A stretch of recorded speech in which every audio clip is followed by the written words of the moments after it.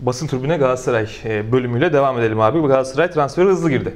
Aslında çok ihtiyacı vardı. Fatih Terim de hep Ocak ayını işaret etti. Ta Eylül ayından beri hep Ocak ayını gösterdi. Ocak ayında da Galatasaray transfer döneminin başladığı andan itibaren çok süratli bir giriş yaptı. Onyekuru e, ve Saraki veya Saracchi artık hangisi doğruysa sürekli değişiyor. Marcelo'ya Marcelo diyelim.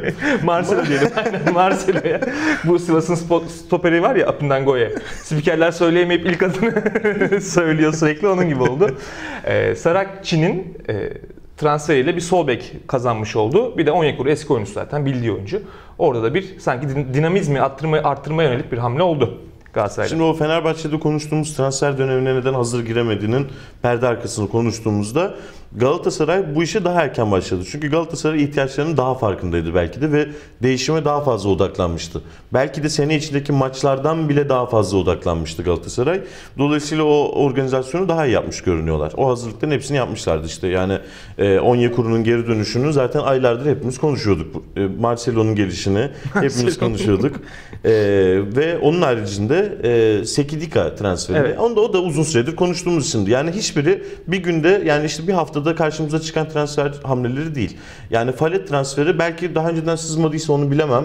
Daha önce O da bir başarıdır yani Ama biz, sızmadıysa. evet ama biz bir haftadır biliyoruz yani Simon Falet transferini hepimiz. Ee, ama Galatasaray'da daha erken başlaması çok büyük avantaj. Çünkü teknik ekip planını yapabiliyor. İşte bir 11 koyuyorlar önüne. İşte buradan Nagatomo'yu çıkarsak Marcelo'yu koysak nasıl olur diye bakabiliyor Fatih Hoca ona. Belki Bir plan 4-5 hafta baktı ona yani. E tabi. E, onun üçlünün, beşlinin sağına koysak onu nasıl olur? 3-4-3'te nasıl oynatsak? Hepsine bakıp belki orada eksiği varsa yine transfer hamlesi yapabilecek. E şimdi Fenerbahçe tam o ham- şeyi listeye bakarken transfer sezonu bitecek belki de. Aynen öyle. Galatasaray iyi yaptı. Santrfor hattını çok merak ediyorum. Çünkü Andone işte sosyal medyadan paylaşım Dönüyorum yaptı, dedi. dönüyorum diye.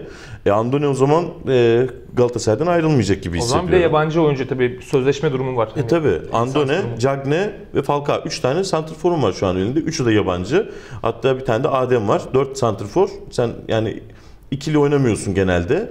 İkinci yarıda 3-5-2 denemeyeceksin ya da 4-4-2 son maçlardaki gibi. Ama onu da Yani Tayland'la denedi gerçi. Babel Falcao'yla de- denedi. Babel de gidiyor bir yandan. Evren Göz de oradan sağ olsun. Kulağımıza, kulağımıza taze bilgiler geliyor. Tam kulağımıza gibi değil siz de duydunuz ama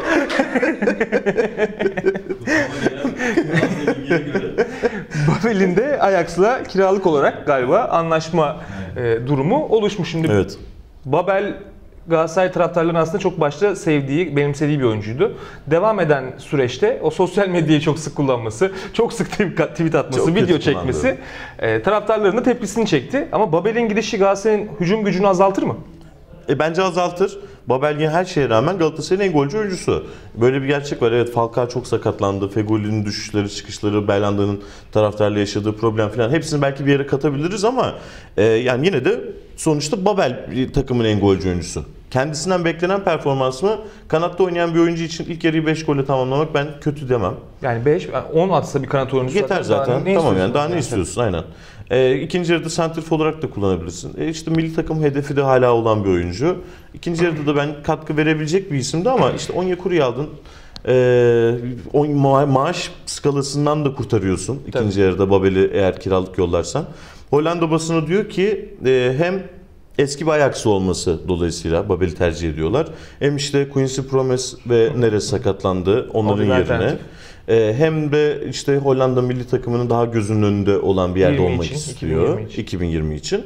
E ve Galatasaray'ın maaş bütçesinden azaltma çabası, e, Babel'in yerine oyuncu gelmiş olması, e, bunların hepsini bir yere kattığımız Ajax transferi çok mantıklı görünüyor Babel için. Yani Onyekuru, Babel'in kaldığı durumda hani kadroyu yaparken tam oturtamıyorduk e, Galatasaray'ın kadrosuna. Şimdi sola Babel'i mi yazacağız? Onyekuru'yu yazdık. Babel'i yedek bırakabilir miyiz? Hani 4-4-2 yapsak orada orta sahadan bir tane eksiltmen lazım. Tam matematik oturmuyordu. Aslında Babel'in gidişiyle e, oradaki tam bütün taşlar da yerine oturuyor gibi görünüyor. E, bence de öyle. E, O- yani o yüzden Babel'in gidişi mantıklı bence de. Tabii orta sahada da Galatasaray'ın hani hangi ikiliyi kullanacağı Enzonzi bir özür dileme durumu söz konusu olduğu söyleniyor. Gelecek mi gelmeyecek mi Lemina Seri. Hani bir sürü kiralık oyuncusu var Galatasaray'ın ama yani kontratından çıkmak istediği de oyuncular var. Var. Orada nasıl bir düzen oluşturur Fatih Terim ikinci yarıda? E, ilk yarının bitimini 4-5 hafta kala e, bizim elimize Emre Mor'la serinin gideceğine ve artık hazırlık yapmaya e, başladıklarına dair haber gelmişti. Yani hazırlık yapmaları sebebi de şu. Bunlar belli ki bizi yollayacaklar. Biz de ona Ha, göre haber yapalım. Buradaki işte eşiyle dostuyla ona göre konuşuyor. E, futbolcu da seride hazırlıklarını ona göre yapıyor. Ama sonra e, son hafta gelen bilgiler bu Ali Naci yazdı bunu. E, dedi ki son hafta biz son şansını verelim seriye. Antalya maçına bir bakalım gibi bir durum oluştuğunu söylüyor Galatasaray muhabirleri. Ve seri şu anda kalmış görünüyor. Fransız basını şöyle yazdı. L'Equipe e, yazdı. Lyon 18 milyon euro teklif ediyor. Fulham'a diyorlar ki biz bunu alalım. Onlar diyor ki bizim kiralık sözleşmemiz var. Bir soralım Galatasaray'a. Hayır kardeşim gidemezsin diyor Galatasaray'da. Bu yüzden seri kalıyor görünüyor şu anda. Bence Galatasaray'ın ilk yarıdaki en iyi isimlerinden biriydi Lemina. Aynen. Lemina oranın her zaman birinci, Birinci alternatifi olacak bence e, sağlıklı olduğu sürece. Taylan'ın çok iyi bir çıkışı oldu. Ömer'in çok iyi bir çıkışı oldu. Daha erken hatta. E, dolayısıyla onlar e, ilk yarının önemli isimleri. Emrah Baba nasıl dönecek çok merak ediyorum. E, Yani çok inşallah iyi döner. İnşallah çok iyi döner. Yani milli takım için de önemli. Çünkü Aynen, o İsveç alternatif maçındaki performansını hatırlıyoruz hala. Çok iyi bir oyuncu. Çok sıkıntılı bir sakatlık tabii. Hani o fibrolog kemiği kırıldı. Çok da kötü bir görüntüydü. Hani o performansı nasıl döndürecek? Genç bir oyuncu inşallah o fiziksel e, Tabii. durumu sağlayabilir. Onun bir de psikolojik yanı da oluyor. Hem o kadar süre oynayamamış Topa olman hem de. Ha, aynen onu söyleyecektim. Biraz sakınıyorsun, Yere çekiniyorsun. basarken kendini. sıkıntı yaşıyorsun. Evet. Tabii bir de stoper durumu var. Evrenin de var öyle bir sakatlık dönemi. Çapraz bağ problemi. Biraz toparmış. Yani stoper demişken Evren abiye bir dönelim. Kulağımıza bir bilgi verecek mi acaba? Galatasaray tabii bir stoper de arıyor. Kontrada bahsettik İtalya Ligi'nden arayış var diye. Ama henüz e, netleşmiş isim yok. Ama Galatasaray İtalya pazarından bakıyor. O yüzden Jason Murillo'nun ismi geçti mesela. Belki Simon Kea diyorlar. Okey ismi. O yüzden. Bunların hepsinin ortak özelliği İtalya Ligi'nde. İtalya İtalya Ligi. Ligi'nden bakıyorlar. Bakalım bekliyoruz. Luyendama'nın boşluğu da olacak ama bir şekilde. Çünkü orada Donk var. Eldeki tek alternatif. Marka. Tabii. Donk Donk ikilisiyle Marka, Ahmet Çalık. Ahmet Çalık. E, Dördüncü üçlü oynamak istesen yapamıyorsun, Yapamıyorsun. şu anda. Dördüncü alternatif zaten kadroda görünmüyor şu anda. Ee, Emin Bayram tabii olabilir orada genç oyuncuyu kullanabilir Fatih Terim. Oraya da bir stoper ihtiyacı sanki çok bariz biçimde Ama görünüyor. o evren konuştuğumuz gibi yani Enzonzi'nin de ben üçlü stoperde oynayabileceğini düşünüyordum ortada. Ee, kalırsa tabii. Yani bence bu özür dileyecek mi dilemeyecek mi haberleri biraz oyuncuyu geri döndürme e, operasyonu olarak gibi geldi Biraz bana bir anda. Evet. Çünkü hani o Lyon operasyonu bir türlü olmadı Enzonzi'nin. Evet. E, Lyon da buradan ayrılacak ayrılmayan kiralık kim varsa hepsine çöktüler bir yandan kabus gibi. Marcelo'yu da öyle almışlardı zamanında. Evet Fenerbahçe'nin. West Ham'ı oldular yani. Aynen öyle. Bakalım yani Lyon'un yapacaklarını çok merak ediyorum. Üçüncü parti transfer- Lyon bölümü olsun bence. Lyon'da daha fazla transfer haberimiz var. Ben de bunu anlamadım. Marcelo'yu konuşuruz oradan. Dinayer'i konuşuruz performansını. bir sürü oyuncu çıkarabiliriz Lyon'dan. Ee, Galatasaray'ın da fikstürüne bakalım bir taraftan. Galatasaray aslında ikinci yani ilk yarının sonunda kolay bir fikstürle bitirdi ama o kolay fikstür avantajı çevirememişti. Hani Ankara gücüyle berabere kaldı. Sonra Göztepe'ye mağlup oldu. Ee, Antalya Spor'u yendi. O şekilde ligi tamamladı. İkinci yarının ilk karşılaşması içeride Denizlispor ama Denizlispor'un şöyle bir özelliği var. Deplasmanda en çok puan toplayan takım. Hani kağıt üstünde kolay gibi görünen ama aslında o kadar kolay olmayan bir maç diye düşünüyorum ben Güzel Denizlispor süper. maçı. Ee, yani oyuncuların nasıl döneceği orada Denizli Spor şimdi transfer operasyonuna da girdi. Alfred Endia'yı kovalıyorlar ki ben çok beğendiğim Tabii. bir oyuncudur. İyi oyuncu. Yani burada kendi de çok beğeniyordum. Bence yani iyi işler de yaptı. Şimdi Arabistan'da oynuyor El Şebap'ta ama Denizli Spor onu kovalıyor. Yani kadro ikinci yarıda daha diri bir şekilde gelecek Denizli Spor. Ee, Yani eldeki oyunculardan işte Rodaiga falan yaşlı, Borov işte tecrübesiz diye diyenler olabilir ama ben Denizli Spor elinde Kontra atak oyuncuları. aynen öyle.